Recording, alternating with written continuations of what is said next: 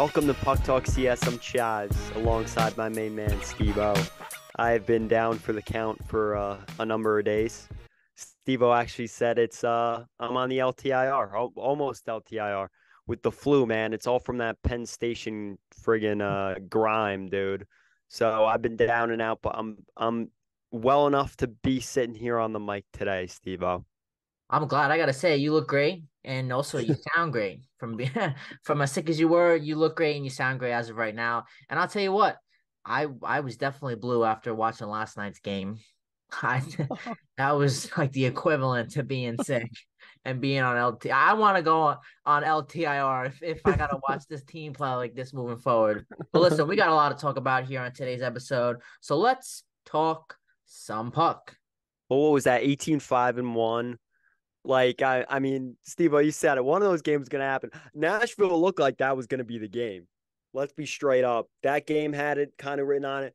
And you know, I agree with Valiquette yesterday. He said, "Uh, it's fun to watch him, man. Like I tell you, now that I've gone to the Garden and watched the games, like I can't, I don't watch Valley that much or uh, Gino and like their breakdown after the game unless I throw it on YouTube, um, because they'll put it on MSG's YouTube.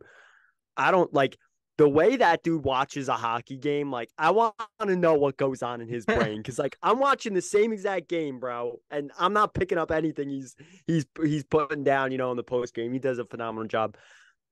Uh, he said Columbus has happened, Dallas has happened, now Ottawa. Like it seems like it's like this every now and then you you, you get a stinker. I, I, I mean, listen, the record shows, but Steve, I know, like you said, that it can't be uh consistent.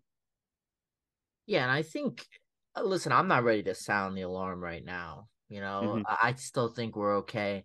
Um, you look at those tough losses. You know, you mentioned Columbus, you mentioned Dallas. Well, what do all those losses have in common? Well, the next game we were able to rebound, and this mm-hmm. team, and I, you got to give Laviolette credit. He's had this team ready, and the team has looked fantastic after after games that we've come out and with really were doozies. But so I'm not I'm not worried. I know we, our next game coming up here. I think we play the Capitals. Um, they've been yep. pretty good. Oh boy, that's a big one. They've been pretty Rangers good. Rangers have not played them very well.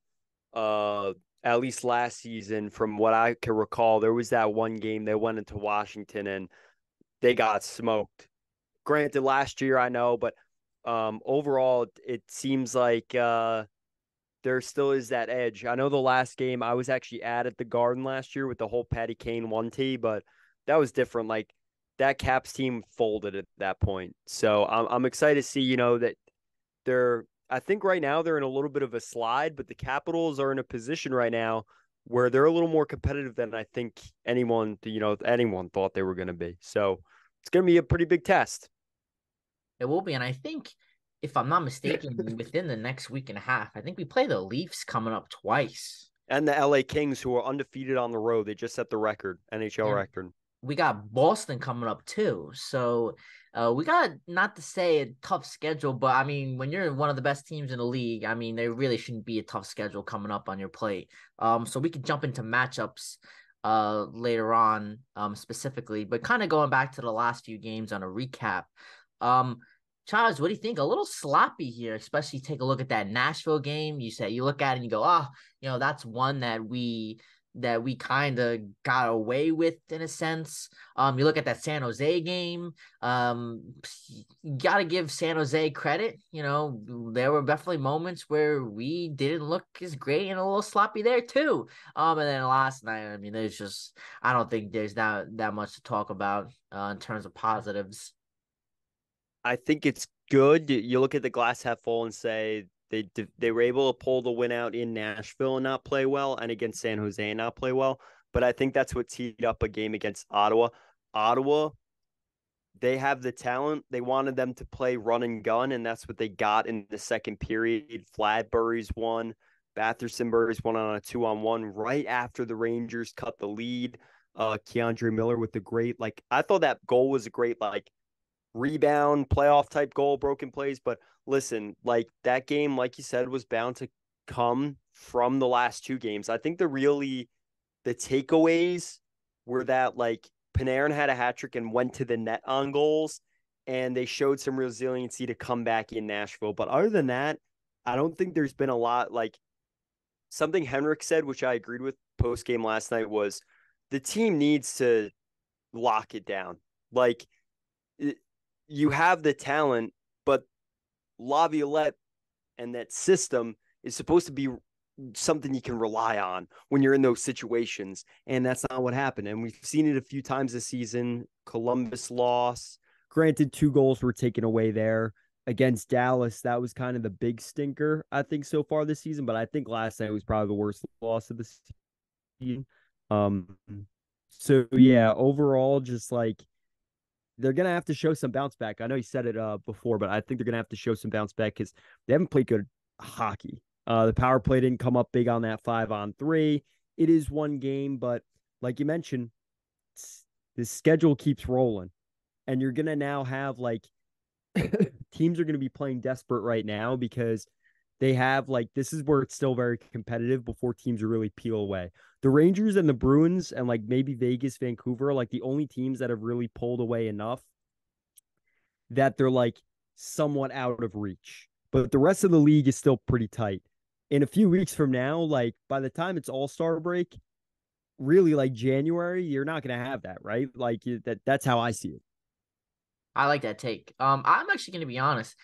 I didn't really feel that bad after the Predators game. Like I didn't think like yeah, we obviously we didn't have our best game, but I I wasn't like a lot of Ranger fans and I know online, especially, you know, on the post game, you know, they were really ripping into this team and I actually I didn't feel that bad. Uh, to me, I thought the Sharks game was more of a game that I was like, wow, a little bit disappointed, you know, we still were able to find a way to win and great teams find ways to win, but especially, you know, a team against the Sharks um, I, I didn't like what I saw there. Um, especially when we had the lead and then we had six minutes left and they're able to notch two late goals. Um, I didn't I didn't yeah. like that. That was a little sloppy there. Yeah, I mean, also some Meghan Chayka put up. She's huge in the stats universe, right? I mean, absolute dog. Um, she put up a stat yesterday that actually kind of caught a lot of traction on Twitter that I also threw up. Odd man rushes against per game the New York Rangers rank 27th. They this was before last night. They allow 4.5 odd man rushes a game. That's five a game, four to five a game, give or take a night. So listen, just like the fact that if that's the style and that's what's working, a lot of people are like, well, it doesn't really matter because look at the record. But I think where the concern is is like last night, where yeah, they score on two of those, and now the lead's completely gone. Like you, there's no way you come back in that game. So I I do think that is a concerning stat. I don't think, and you know what, we could go toe to toe on this. We could throw out numbers, but listen, the team defense hasn't held up in front of Igor. He sure as hell has not kept the team in a game. I'll keep that a, a, a buck. I think against Nashville, he played really well in the second half, but there have been some goals where it's like, listen, I know the team needs to play more structured in front of them, but we're not seeing like 2022 Vezina level Igor. And I know you can't expect that all the time, but I, I do think that in this stretch, this could have been a moment where he really stepped up. And you saw Quick's performance in like Pittsburgh. We haven't really seen that type of a game from Igor yet, which is fine. Say you want listen, praise be. You save that for the postseason. But I do think as of right now, like even in the tough moments, like they haven't really gotten the big save out of them. They did down the stretch in Nashville, but that wasn't like the three to one shorthanded opportunity that Sissons had. If he stops that, then it's not even a you don't have to score two to come back. So I do think the sure goal, like we haven't seen one where it's like, oh man, he robbed like a sure goal. Well, I'm welcome to criticism on that too. I I agree with you. Um, uh, listen, going back to the the stats before, um, we can't lead the league in every category. I know we lead we lead the league in a lot of stuff, so that's definitely an aspect to our game we need to clean up. Um, but in terms of Igor, I do agree with you, and I'm gonna I'm gonna go back to last year and uh, or two years ago and as an example. Um, he's prone to this, especially last year. I mean, he had a rough he had a rough stretch last year. Um, and I remember like we big games, we had to turn to Halak. Um, mm-hmm. and this is a part of his game where you know he's he's prone to this. Um, am I worried? No, I'm not. Um, again, Shesty's our guy. He's our number one. Um, mm-hmm. Jonathan Quick, I know a lot of Ranger fans might be hesitant to say, all right, well, you know, let's try and get let's get quick out there until Shesty kind of settles in. Um, no, I think we we continue to roll Shesty. He's obviously our number one. Yes, Quick's caught lightning in a bottle here. Looks like he's turned back the clocks, but I don't know. I, I I still don't know how long that's gonna last. I mean, you look at you look at the the last game Quick was in, you know. So again, I'm not sure. And again, I think you mentioned a key point. He's not really getting help from the defense at all. Um, so I, I still have confidence in Shesty to turn it around. And again, big matchups to roll him out on. You know, Boston's coming up two against Toronto. I think we got two against the Capitals. Definitely one. Uh, again, Capitals are not to be taken light, uh, lightly. Offensively, they've cooked up some good things this year. Um, mm-hmm. I think we got the Panthers and Tampa coming up to finish it, uh, finish out year. the year. So we got we got some tough contests with some teams that could put up some heavy points. So this is going to be a testament for Igor, and it's going to be more of a testament, in my opinion, for the defense. I think the defense is really going to have to rally here together. Um, I don't know if it has anything to do with with Fox coming back or you know pairings or kind of switched up and whatsoever. But again, defense this last I'd say the these last three games has not been on par to what we've seen uh for the up to this point to the year as a whole for this New York Rangers team. Yeah, and I, I you know you brought up combos. I love Johnny. I call him Hot Broad on that first line, man. I friggin' love it. I love it. You know why? Because we've talked so much about Frankie Vatrano, right? And like how they need a player like that. Like they don't don't bring him back. You know, first of all, you don't have the cap, sadly. But they needed someone like that. Like that that those ingredients in a skater to put on that line to comp like if it, it you knew what you needed next to Zibanejad and Kreider based on the way Buchnevich played, the way Vatrano played they got a little bit of that in Brodzinski. I love, I'd love to see some longevity there. And with that, I haven't been around the team, but um, in about a week now. But according to the reports that are coming out from everybody, Vince Molly, Colin Stephenson, they're all saying that Kakko is like progressing. So that's not a bad sign because we know he's on LTIR. I know it's in the future, but it's going to be interesting because Johnny B looks like he's playing himself into a full time role here. I want to know your takes though. Yeah, uh, this is interesting. Um, again, right? Doesn't it get dicey, man? Because it's like where then when those guys fill Chytil, like we don't know what's going on with him. When do they come back? When they come back, where do they go? Because I think Johnny B's earning it. He is, but I, to be honest with you, I think it sounds like you're more com- confident than I am on this. Um, yeah, you know, uh, in terms of, and I talked a little about it, a little bit more about it, um, or mentioned in on last week's episode. Uh, you know, these are all good. I feel like short term answers that, yeah, up to going into January and, and February, it's not really gonna. You can't really go wrong. But I'm not sure if this is a a, a strong long term answer. Like, yeah, we're getting a little pop right now, but let's say in a month right now this this this fizzles out. And i i'm not sure what the updates on kakko are. Uh, i'm not mm-hmm. sure what the updates on Chytil are. Um so Chytil skating i think Chytil skating on his own still. So that i really do think you know was never confirmed but I, i'm assuming it has to do with some sort of concussion right? Because like at this point if you're skating on your own for like it's got to be like three weeks now maybe a month. It, it's definitely you know I, I think that's the only thing it can point to. And with Kakko, I know he's he's labeled on LTIR, and everyone thought it was going to be like some sort of torn MCL or something, but like he's apparently progressing. They like the way Laviolette, I think in one of the quotes said it was like not skating yet, but like you wouldn't even. I don't think he would touch that with the 10 foot pole if he didn't think he was going to be skating soon. That's all kind of speculation, but um, I just think it's better news than anything you, maybe we could have expected from Kakko. That's, but you really think so? You're saying you don't see Johnny Hot Broad as a uh, as a guy that could that could be there for the long term? I need to see more. I I, I need Oh, to. you're saying more small sample size. I I do, and I just I don't know. You know, obviously, maybe I'm thinking, uh, maybe I'm looking at this through the lo- the the wrong lens. Really quick, I want to go back to Kakko before I forget. Um, team has really kept us in the dark, and I, I'm the fact before you mentioned that, and the fact that they haven't announced anything made me even more nervous.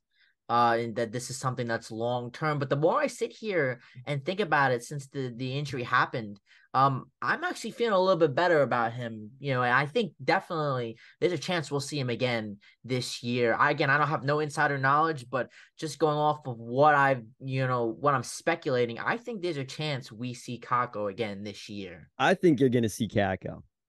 I think where it's going to be interesting is how much of a runway because I I feel like this kid gets set up. I wouldn't say to fail a lot, but I I do think sometimes it's like there are setups and these like thought processes that are a few steps ahead of where he is as a player, right? They didn't play him in the AHL, right? Like we could go down the rabbit hole. Uh the season Gallant brings that they go, they kind of come up 21 22. He only played like some like 19 regular season games because he had injuries. Um, they had the COVID shortened season that drastically affected his development. Like there have been a lot that Kakko stepped into that's adverse. And I'm not giving him victim card. I'm just saying, like, you got to think about these, right? You know, we talk about this all the time. You got to give him the benefit of the doubt on some of these things. I think where my concern is, is like, so he comes back. He already struggled before the injury. That was like literally the conversation in Rangerland was like, what the heck is going on with Kakko? Boom, goes down with a bad injury. So now you feel bad for him on that. What's the runway, Steve right? Like, if he comes back and like it could be next week, it could be in March. Like, if he comes back in March, where my concern is, and this is why I was talking about Johnny B, wouldn't you rather have the guy that's been in the lineup that's been grinding than forcing Kakko back into a position that he's not 100%? Like, if you're going into a playoff series against New Jersey again, I'm playing Johnny B on the first line. That's interesting. That's a good question. Um, uh, as of right now, I'm still going to stand my ground. I'm gonna say that I'm just not confident in him moving moving forward. I have to see a little bit more of him. Yeah, what I've seen these last few games definitely promising, and and he's getting a rare opportunity, one that I that I don't think any of us have pictured uh, a scenario in this season, especially with all the line combos that we were cooking up in the off season, um, even in, in the first two weeks of the season. But I just, I listen. I'm not hating. I just got, I just got to see more. I just need to see more, and I, I'm not convinced easily, and I, I think that this team, again, I don't know the extent of Kakko's injury. Um, Mhm. but I think this team, I think that March seems like a good range for a Kakko return, depending that this eh, that this injury isn't a serious one. And by the sounds of it, it doesn't seem like it. Um, but listen, obviously, want your better play up uh, players in the lineup. And I would, it's hard for me to answer this question because I'm basing this off of pure speculation of Kakko. But I, as of right now, in the first week of December, yeah, I want to, I think we're to see Kakko again. And I'd rather have Kakko back in the lineup eh, for a playoff series. And now, listen, Johnny B, prove me wrong, man. I, I would love to see that happen.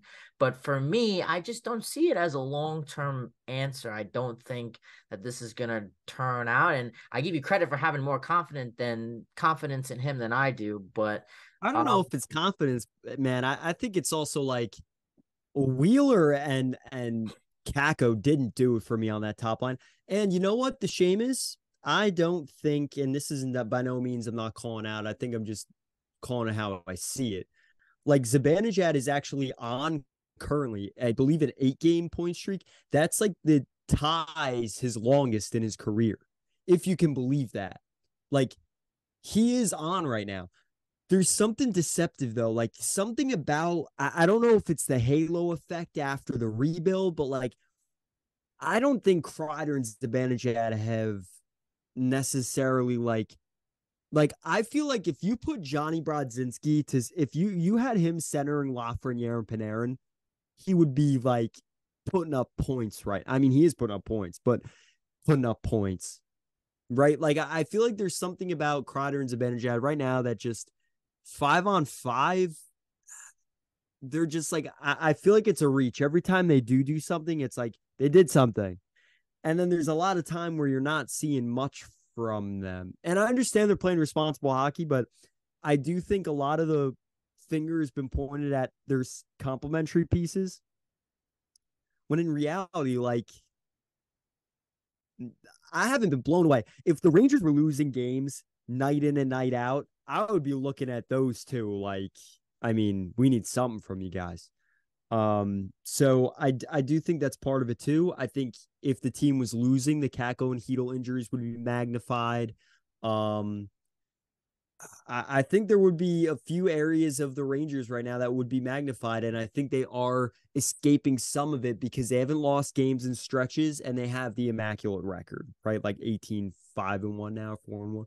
So yeah, Steve I, I want to know what your take is on that. Like that first line to me, Johnny Brodzinski gets called up, something maybe we didn't foresee, but at the same time, like I don't know for for Wheeler and Kakko struggles. I also think part of that's on the uh the mother hens up there on the first line.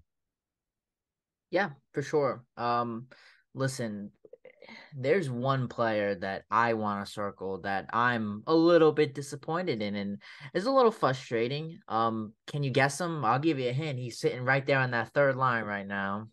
You mentioned That's him. Blake Wheeler. Of course, yeah. Because Will, I mean, Will Cooley's been above X, right? Like we didn't even expect him to make the team. Far above, far above. Dirty snipe against San Jose. Eh? That was a dirty one.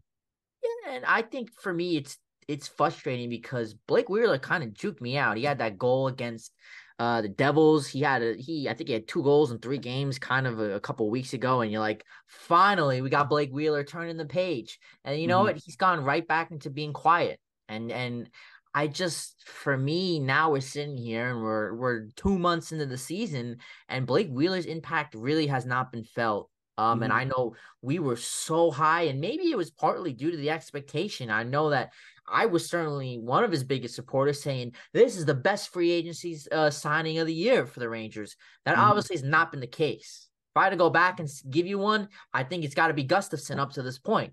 But go circling back to Wheeler, I mean, not to say that you know he's a bust because uh, you can't answer that question until the season's over but the expectation for him is just the bar's been lowered and he's been a frustrating player to watch. I, I watch. I think i think if you look at the stats i mean he's just you know you we watch games and i don't know if you're on the same level as me and you're just like i have not heard blake wheeler's name all game long. Or if i did it's because nah, of penalty. I agree. There there are times where it's like we're kind of I, I mean for me in the home games it's like press row and someone will just turn around like I'll turn to Johnny and just be like eh, I haven't seen much of this guy tonight. You know and then all of a sudden you think to yourself and you're like damn I forgot he was on the ice. Um and I think that's a that's the tough part. So I agree but where where I agree with your sentiment is that the the bar's been lowered to the point where like before the season it was like we're getting like a 50, 60 point scorer, literally a season removed from that. And the excitement was that he takes a 10 times pay cut to play in New York. And like the the thing I kept saying was like, well, what changed? Well, I think we're starting to see what maybe he did see that this was kind of coming and he was looking for a little bit of a change of scenery in that respect, right? Um at the end of the day, though, this is what I will say to counter. It is November if this is March, but the, you know what? The president he's setting is kind of like I don't see this turning around much, and I think that's where, um, you know, it's it's all right, but I I feel like you're in a seven game series and you have the lead in game six and you lose, and now it's game seven. All these things come out, right? Like that's the reality of it.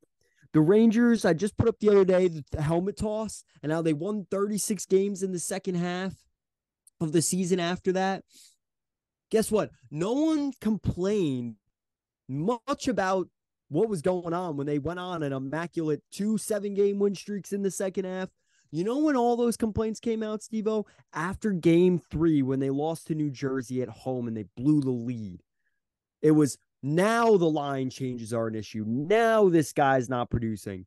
So the only reason I do think it is there is some urgency to what you're saying, and I do agree, is because right now it's like, oh, they're 18, 4 and 1. Okay. Like, but when they maybe lose a, a game two in double overtime in the first round, all this stuff's gonna pop out at you.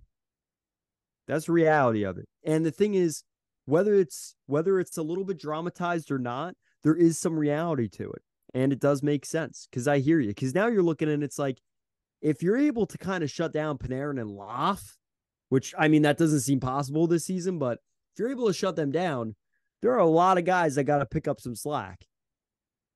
Yep. Yeah. And especially, again, last night's game isn't highlighting this issue and i i love that point for that you just mentioned i mean hopefully we don't get to that point in the season where these issues come out but again we we go on a losing streak these issues aren't coming out of the blue these are issues that are already in this day and they've been issues for a while going back to blake wheeler yeah. Blake Wheeler, we've known him these last few years. He's a 60 to 70 point, uh, you know, 60, 70 points, you know, per year, you know, on his average. Uh, mm-hmm. how many points does he have this year? Do you know? Six. Wow. Six points. He only has six points in in 24 or 25 games this year. So at this point, we're sitting, you know, it's December now. We're gonna it's yeah. gonna be 2024 before you know it. Are you confident to the where that he can turn around out of the blue and get back to that at least maybe 50 point uh you know and 50 points looking at his last like 5 6 seasons and you know as an average if he had 50 points that's going to be his lowest season mark he has 6 points this year so I, again i'm not sure there's obviously been a dip but i'm not confident that we can i think we'd be lucky to get him to 40 points this year yeah, I, you know it's funny because obviously as the player, like none of those things are things he's thinking about, right? Is like oh, expectation, oh, yeah. the way we view it. but at the same time, you know, I look at a player like a Jimmy Vesey, and it's like he's still kind of cruising, man. Like he didn't if he signed the PTO last year, had some confident stretches, and then this year kind of didn't play well, it'd be like, all right, what were we expecting? But I think Vesey, um, that listen, they're getting contributions from everyone, but I, I think the part that's alarming with Wheeler is like you're saying, like this is a guy that we weren't expecting 70 points, but we knew that was in his arsenal. We knew that was on the resume when he was coming in. I don't know. I don't know. I, will say right now, no, I don't think he can turn around. I think it's going to be like maybe finishes with like 30 points and calls it a season and, and chips in in the playoffs. And he's just kind of like a depth veteran guy in the playoffs. I mean, someone I could kind of think of that's similar, like by no means, I know this is really spitballing off the top. In 2012, John Tortorella had Ruslan Fedotenko on the Rangers 2012 roster. Same deal, like used to be pretty baller, but like by the time he was on that team, it was like it was more of a brand name and he was a depth guy and he was a big guy. So like throws weight around a little bit, chip in, but other than that, like you weren't getting 70 points out of him. That's the name that I kind of throw off the top on that. I don't know if you could come up with something, you know, similar even in uh in that sphere of things, you know, like a player that was like I'm just kind of spitballing like that's what it reminds me of. So I I it's not that I don't have confidence in a bad way. I just think what he's shown is what what you see is what you're getting. Yeah, and listen, this isn't a player that we could just sweep under the lineup. You know, especially yeah. this time of year, you're okay. But you know, come two, three months down the line, this is a player that really is going to be a highlight in this lineup. And this team, I don't want to say is going to go as far as he could chip in, but when you get to the point where Panarin and Lafreniere slow that production down, these highlights are going to get, or these problems are going to get really blown up, and everyone's going to start talking about it. And I think we're starting to talk about them now. And I think this conversation is going to uh, emulsify if the Rangers can't turn it around. Now, here to before we wrap up today, Chives, uh, I'll ask you this. We'll do a little preview coming up. It's a good thing that we our next game is on Saturday. We get a little bit of a break to recoup and and really try and regenerate the boys and get them going after really last night's snooze fest. But Mhm. we're gonna be on the road in again in Washington playing the Capitals, home against the Kings, home against the Leafs. Who scares you the most? What are you looking for in these matchups? All right, I would say who scares me most? Los Angeles Kings.